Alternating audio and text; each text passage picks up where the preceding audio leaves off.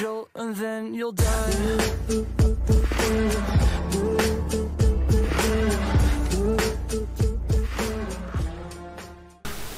Hello hello hello. Xin chào tất cả các bạn. Mình là Hoàng Thân đây. À, Chúc các bạn à, một buổi đầu tuần vui vẻ Và chúng ta sẽ kiếm nhiều lợi nhuận trong à, cái tuần tiếp theo này nhé Thì hôm nay là thứ hai rồi. À, Mình tiếp tục mình ra những cái chuỗi video Chia sẻ với các bạn những cái kinh nghiệm của mình. Để chúng ta gì Một cái nền tảng vững chắc hơn. Uh, Chúng ta sẽ có nhiều cái kiến thức hơn Để chúng ta có thể mang lại cái chiến thắng trong cái thị trường này. Ngày hôm nay cũng là một ngày mà mình chia sẻ với các bạn những cái kiến thức. Nó kiến thức này thì không phải là kiến thức uh, nâng cao lắm. Bởi vì uh, nó là gì? Nó là đọc thị trường. Chúng ta sẽ đọc thị trường như thế nào? Và chỉ cần 5 phút hoặc là ngắn hơn hoặc là ít phút hơn để chúng ta có thể gì? Chúng ta có thể nhận định thị trường chúng ta có thể đọc thị trường. Thì uh, thị trường nó đi như thế nào? Quan trọng là chúng ta phải biết thị trường nó có những dạng thị trường nào những dạng biểu đồ nhỉ đúng không? Thì thị trường có 3 dạng biểu đồ chính. Thứ nhất nó là uptrend. Nó là uptrend nó là xu hướng. Thứ hai nó đi theo kiểu kênh giá.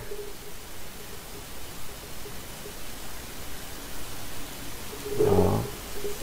Thứ hai đi theo, theo kiểu kênh giá như này.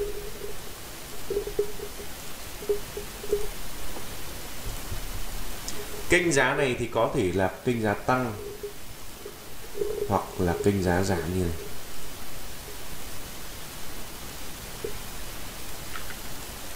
Đây là một kênh giá tăng. Còn đây là một kênh giá giảm.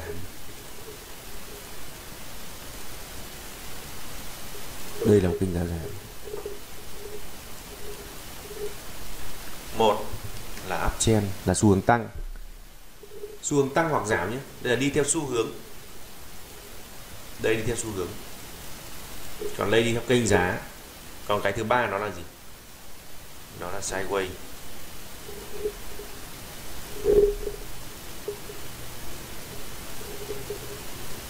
nó là sideways đúng không? Thứ ba nó là sideways còn thứ tư. Thứ tư nó là gì? Thứ tư đó chính là nó không đi theo ba thằng này mà nó đi theo kiểu gì? Theo kiểu mô hình. Ví dụ như là mô hình tam giác này nó không có gì.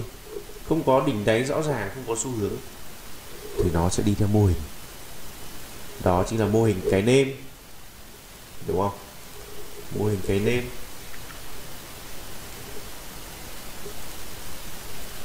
Đó. Giá nó đi trong cái nêm này. Mô hình tam giác.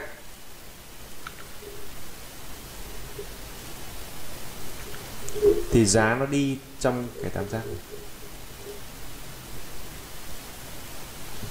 Thì đây là toàn bộ những cái gì mà gì mà thị trường cho chúng ta. Đây là toàn bộ những cái gì thị trường cho chúng ta. Vậy để đọc được biểu đồ để gì? để nhận định biểu đồ trong vòng thời gian ngắn thôi để chúng ta có thời gian chúng ta phân tích điểm vào lệnh phân tích chơi thì chúng ta phải hiểu hết xu hướng là gì nó là gì? Nó là các đỉnh đáy rõ ràng. Thì gọi là một xu hướng. Xu hướng tăng khi đáy mới, nó cao hơn cái đáy cũ, thì được gọi là xu hướng tăng. Xu hướng giảm khi gì? Đỉnh mới, nó thấp hơn cái đỉnh cũ. Và đáy mới, nó thấp hơn cái đáy cũ. Thì gọi là một xu hướng giảm. Còn kênh giá đây đó là xu hướng. Thế còn lại là kênh giá thì nó là gì? Kênh giá là nó đi trong một vùng giá song song. Vùng giá song song nhau. Hai đường này, hai đường màu xanh này là hai đường song song nhau. Và gì? Và nó cũng có các cái đỉnh đáy rõ ràng. Nhưng gì? Nhưng nó lại đi theo kênh giá này chứ không phải đi theo xu hướng. Kênh giá nó có thể đi như thế này. Để cho mọi người đỡ nhầm lẫn đây, mình, khi mình vẽ thế này thì mọi người nhầm lẫn rằng rằng là gì? Nó sẽ có đỉnh đáy rõ ràng và đây là xu hướng tăng, đúng không? Nhưng không phải. Nó sẽ đi như thế này. Ví dụ đây là một kênh giá tăng.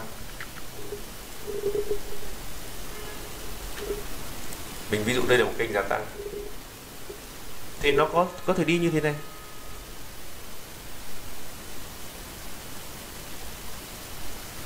Đi lòng hoàng như này. Đây. Đúng không? Thì chúng ta vẽ xu hướng như thế này đây mới là kênh giá của nó này. Đúng không? Đó. Thì đây mới là kênh giá. Mọi người hiểu cho anh chưa? Đây là đi theo trong kênh giá. Chứ nó không gì. Không phải là đỉnh đáy rõ ràng mà nó đi theo kênh giá như này ok chưa đó là kênh giá tăng kênh giá giảm. Thì tương tự như vậy. Thì thông thường thông thường là gì? Khi mà đi theo xu hướng. Khi mà đi theo xu hướng. Thì nó mới hồi được về cái vùng 0.5 đến 0.618 để cho chúng ta một cái lệnh rất là đẹp để bay lên. Hoặc là gì xeo xuống. Còn về kênh giá thì chúng ta sẽ không đo Fibo bởi vì Fibo nó không chuẩn. Nó đi theo vùng kênh giá. Nó không thể nào hồi về cái vùng này. 0.5 đến 0.618 được. Bởi vì nó sẽ hồi về sâu hơn. Nó còn hồi về gần một. Đúng không? Vì nó con sóng của nó đi theo trong kênh giá này tiếp theo thị trường cho chúng ta điều gì? Tiếp theo thị trường cho chúng ta sideways có nghĩa là gì? Các cái, hai cái thanh song song này nó không tăng, mà gì? Nó sideways như này. Vùng giá nó đi trong vùng sideways như này. Sideways này nhìn rất là dễ rồi. Thì nữa mình sẽ lấy ví dụ. Thứ ba, nó gì? Nó là cái nêm hoặc là tam giác hai cái này là một. Khi chúng ta vẽ nó thẳng ra đây, thì hai cái này là một.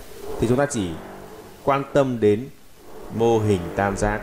Còn cái nêm này là cũng tương tự như nhau, đúng không? Ok chưa? Thì mô hình tam giác này, thì giá nó đi trong mô hình tam giác này. Những cái đỉnh đấy khi mà đi đến cuối tam giác, nó siết chặt lại gần nhau hơn. Đó. Cái quan trọng là chúng ta sẽ gì? Chúng ta sẽ chây chây như thế nào? Chây như thế nào đúng không? Với các mô hình này thì chen tăng chúng ta canh buy chen giảm chúng ta canh sell hồi về các vùng đẹp các vùng key level các vùng chỉ số đẹp. Kênh giá tăng thì chúng ta gì? Canh buy kênh giá giảm thì chúng ta canh sell sell và buy tại cái vùng vùng gì tại cái vùng kênh giá, tại các cái vùng kênh giá này. Sell hoặc buy tại vùng kênh giá này. Kênh giá giảm thì sell thì sell tại đây tại đây tại đây, đúng không? Kênh giá tăng thì buy tại đây tại đây. Còn sideways chúng ta chúng ta như nào. Vậy thì sideways thì sao?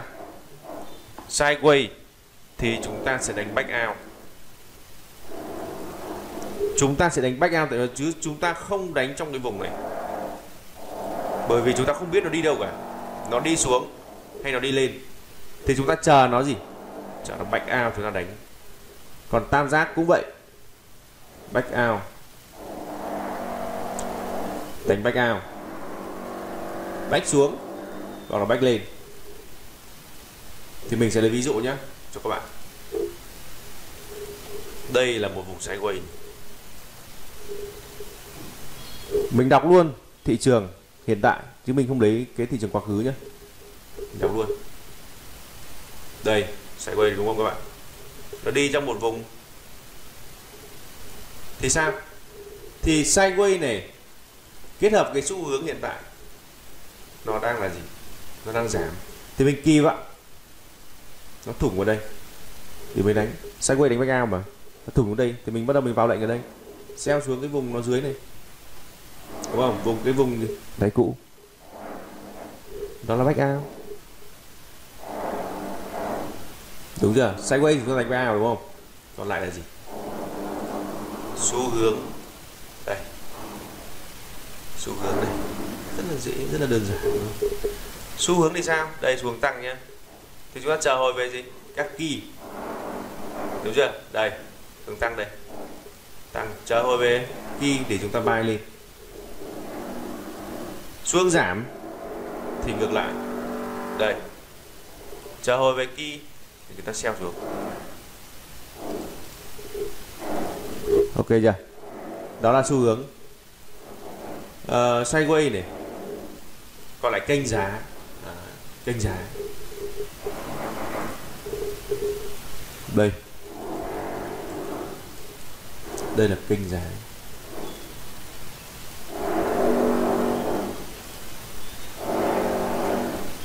đúng không? Đây là kênh giá.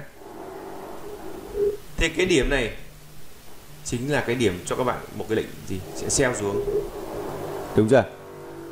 Đấy, vì nó đi theo kênh giá. Nhưng đây là một kênh giá tăng thì chúng ta hạn chế sell chúng ta sẽ gì? Canh buy thôi. Hạn chế sell nhé chúng ta canh buy thôi. Ok chưa? Còn lại mô hình gì nữa nhỉ? Mô hình uh, tam giác. Mình nhìn ra luôn mà đây mô hình tam giác. Nhìn rất là dễ, rất là đơn giản luôn giá nó đi theo trong cái vùng này. Đây, mình vẽ từ đây cũng được. Đây. Giá nó chạy trong cái vùng tam giác này. Đúng chưa? Và nó back out tại đâu? Thì chúng ta đánh tại đó. Back out ở đâu chúng ta đánh tại đó? Đúng không? Rất là đơn giản thôi. Mô hình tam giác.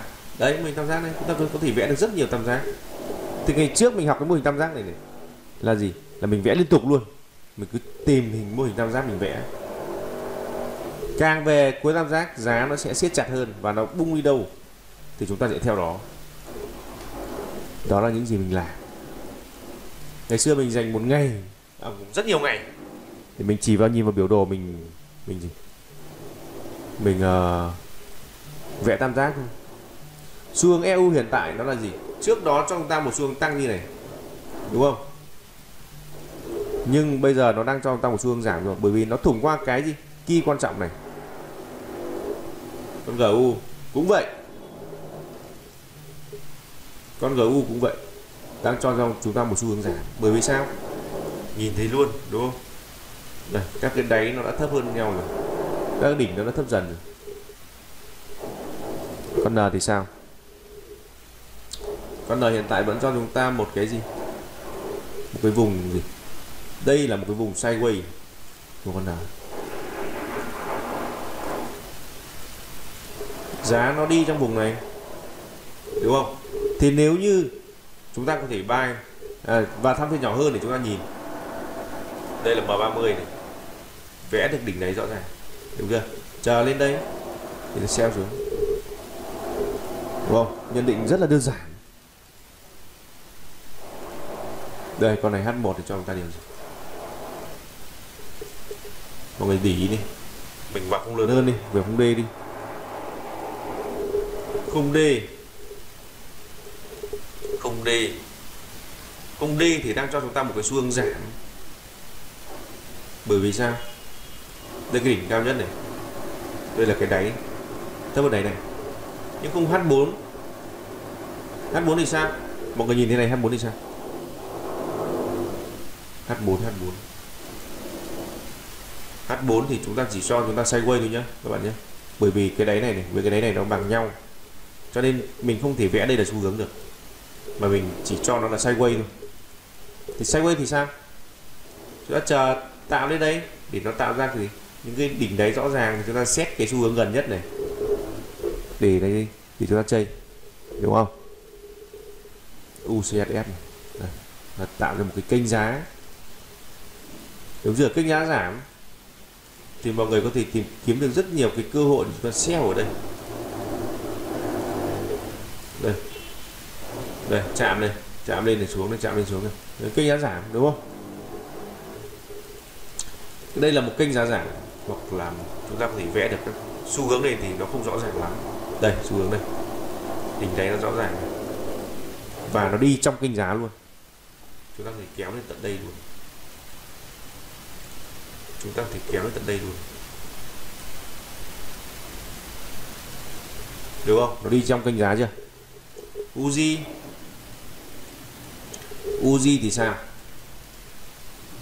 Mọi người nhìn thấy Uzi thì sao? Uzi của H4 thì sao?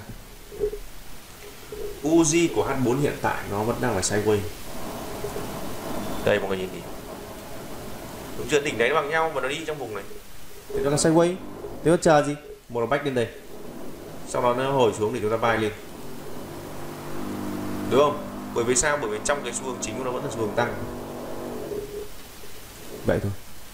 Rất là đơn giản. Vàng đang cho chúng ta một xu hướng giảm. Thì chờ lên các vùng quan trọng. Thì chúng ta sell xuống. Ok chưa? Đó đó là cách mình nhận định thị trường. Cách mình đọc biểu đồ. Nó đang đi như thế nào? Đi sideways hay là gì? Kênh giá hay là xu hướng? Hay là gì? Mô hình tam giác 10 ngày đêm để mình gì mình chờ đợi. Mình đánh. Ok video này là một cái video rất là cơ bản thôi. Nhưng mà mình có thể nhìn biểu đồ rất là nhanh. Ờ, video này đến đây là kết thúc rồi. Cảm ơn tất cả các bạn đã theo dõi video của mình xin chào và hẹn gặp lại tất cả các bạn ở những video tiếp theo của mình.